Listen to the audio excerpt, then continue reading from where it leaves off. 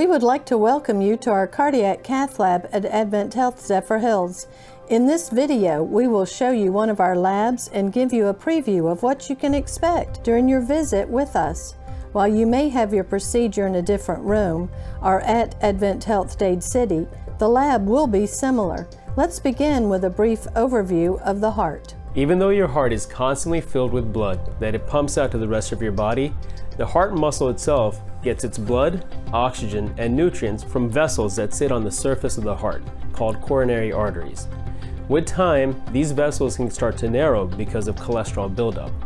If your cardiologist feels that your chest pain, irregular heartbeat, shortness of breath, or other symptoms could be due to this blockage, they may recommend a heart catheterization for you. My name is Crystal. I'm one of the nurses in the cath lab. I'm going to take you back and get you ready for your doctor. You and your family can follow me this way. You're going to go ahead and come back with me and your family is going to wait in the family room while I get you ready and then we'll make sure your family sees you before we take you in. Come on this way. I'm going to have you here in this bed. We have the bed ready for you. What we're gonna do is we're gonna have you remove all of your clothes. There's a bag here for your clothes. I have a gown. The gown is gonna go on, open to the back, just like this. And then there's socks here, and I'll close the curtain and let me know when you're ready. All right, Mrs. Smith, what we're gonna do is we're gonna go ahead and put some of these stickers on you so I can get you hooked up to the monitor. We can get some vital signs. We're also gonna start an IV and we're gonna shave your groin area.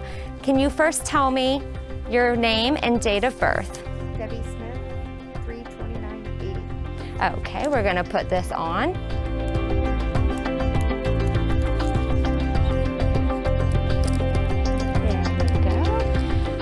Right, I also have some questions regarding your medications and allergies.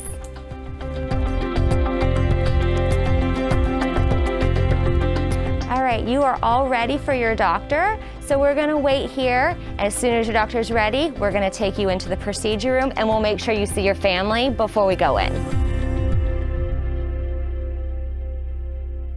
Hi Debbie, I'm going to get you hooked up to all of our monitors. We have a blood pressure cuff, a heart monitor, and an oxygen sensor, and then I've got to put two big cold stickers on you.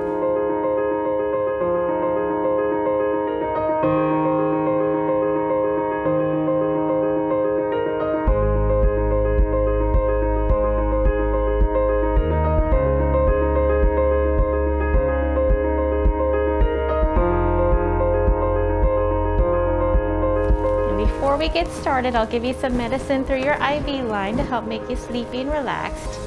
Um, during the procedure, the doctor may ask you to cough or take a deep breath. Hello, Mrs. Smith. I'm Bruce. I see that you've met Christy. We're your, uh, part of your team today for your procedure. Um, what is your first and last name? Debbie Smith. Okay, that was just for safety. And what procedure are you going to have today? Uh, they're going to do a heart cath. Excellent. So let's get started. Just a little cleaning solution just to clean everything up. The soap is cold, but it'll dry very quickly and be germ-free. This is a cold drape. It'll cover you from your chin to past your toes, so you'll be completely covered up. We're going to set you up for the procedure how we need you. If there's anything we can do to make you more comfortable, just let us know.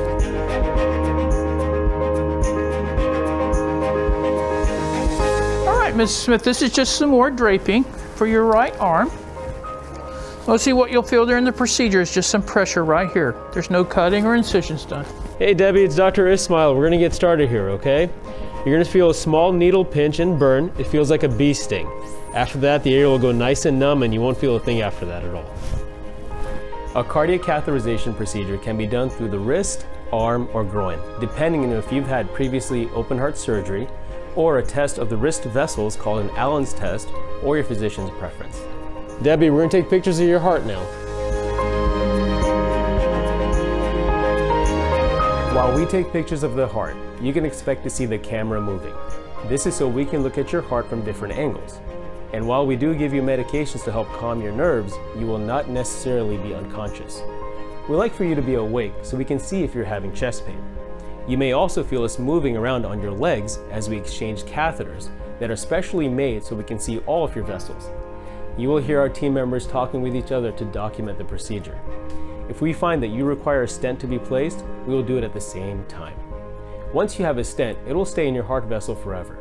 We can also put a stent inside another stent if you have a blockage within that stent in the future.